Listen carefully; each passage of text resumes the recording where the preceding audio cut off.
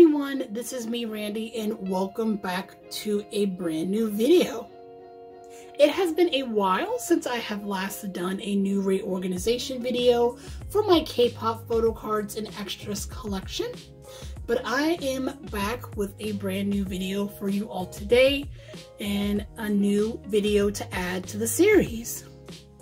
In today's video, I'm not going to be focusing on my music album photo cards and extras collection. I'm going to be focusing on the other merchandise items that I own, like items that are pre-order benefits, exclusive items, and other official merch as well. So about a year or so ago, I decided to add in the A5 binders into my collection, and I decided to add two of them. As the time has gone by, I've actually been liking these binders less and less. And so recently I decided to add and replace my two A5 binders, which are here. And these are the original ones that I was using, which are actually originally are supposed to be used for journaling, but I decided to use them for photo card collection purposes. And here they both are. So I decided to switch out those A5 binders and add in two Avery 8 by 5 binders. So both of these binders are an inch and both of these binders are the standard Avery binder but just smaller. And I've came to a realization that the binders that I was originally using I just were not a big fan of in my opinion, they are really nice aesthetically, but for actual collecting, I realized that the binders were just a little bit too flimsy in my opinion, so I decided to get these two binders here, and I must say I love them. Um, they have the same durability as the regular size Avery binders, so I really am added to be adding these two binders in my collection. And with that, I had to actually add in some new pages for my binders.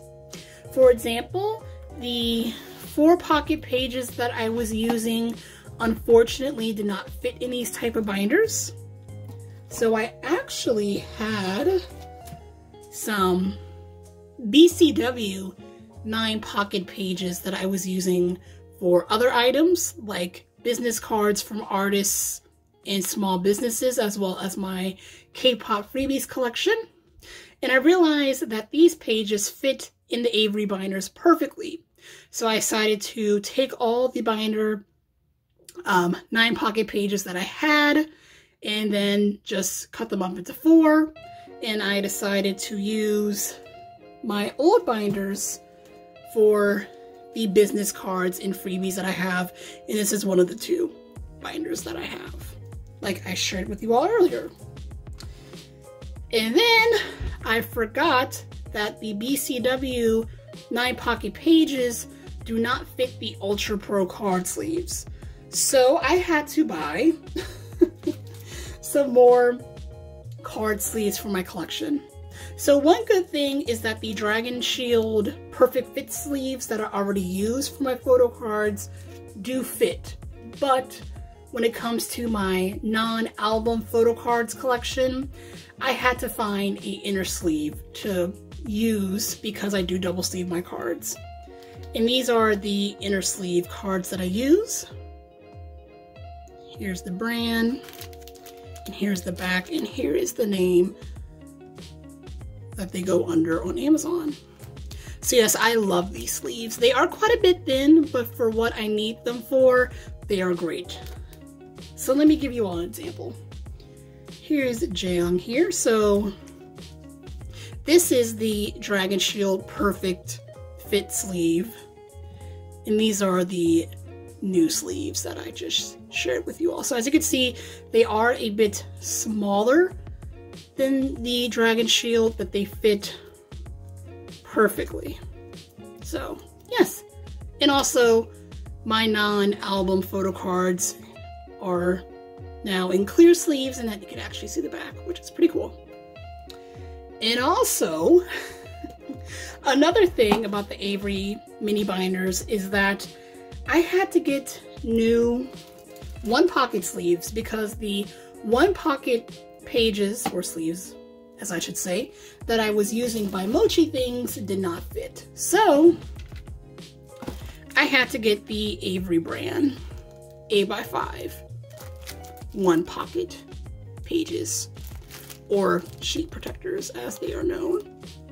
And I love these pages so much. They are fantastic.